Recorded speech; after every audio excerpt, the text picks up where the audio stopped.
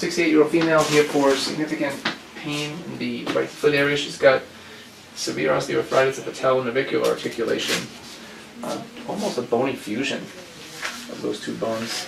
She never had any injections there. I'm going to go ahead and just inject with a little bit of cortisone. Maybe it'll quiet it down. She recommended by another orthopedist that she get a fusion actually of that joint. It almost looks like it fused itself though. So here we're going to focus on the talar navicular articulation. Here's a normal joint between the talus and the navicular bone. You can see the nice smooth surface, surfaces of the ends of the bones. Here's this patient with a very, very arthritic joint between the talus and the navicular bone. It's almost fused essentially.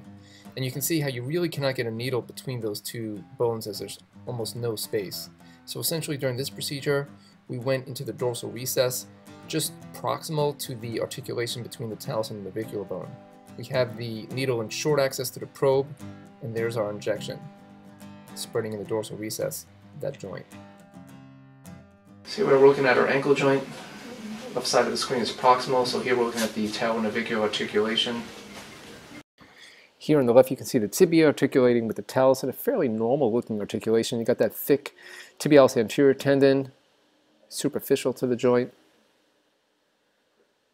You can see the significant osteophytes dorsally between the talus and the navicular. And and here you can hardly see the articulation as the joint is nearly fused. Hardly even see a space here. So this looks like her tibialis anterior tendon. And again, here's a normal looking tibialis anterior tendon, fairly thick tendon normally. And then, as we go a little bit lateral, your extensor hallucis longus. And certainly a much thinner tendon as the extensor hallucis longus tendon is lateral to the tibialis anterior tendon. If you go a little bit lateral to extensor hallucis longus, you can see her dorsalis pedis artery. And again, she's got good pulsation here in the dorsalis pedis artery, which is lateral to the extensor hallucis longus tendon. Also lateral to the dorsalis pedis artery is the deep peroneal nerve. However, at the joint, the dorsalis pedis artery and the deep peroneal nerve, they cross under the extensor hallucis longus tendon and go from the medial aspect of the tendon to the lateral aspect of the tendon. Flow. So I'm going to try to go between, if I can, perhaps those two tendons. You can see a nice little fusion there within the joint. So we're essentially going for the distended dorsal recess of this joint where you can see some fluid it's certainly much easier to hit this target versus trying to squeeze it between those two bones as there's virtually no space between those two bones. So with the be this is short axis to the needle, really just going barely under the skin. We're at 935, just pushing with our needle cap.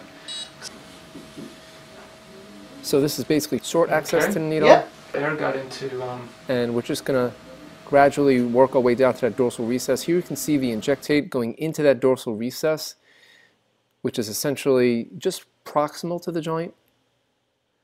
And essentially it's spreading in the dorsal recess and hopefully seeping into the remaining joint itself.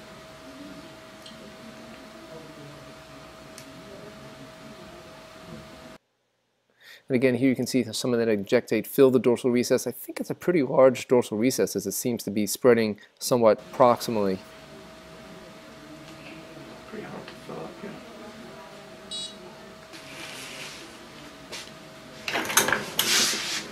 You right?